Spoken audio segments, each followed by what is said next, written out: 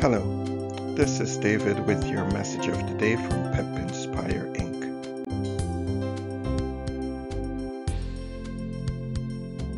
No matter what may have happened yesterday, a new day of fresh possibility has dawned.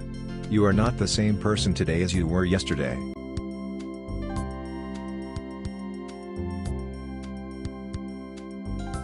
Your mental attitude would to a large extent determine how your day will turn out, so as you start your day today, think of this day as a new beginning. Determine one thing you would like to change about your life or to incorporate into your life, and make today the day that you begin the process of change.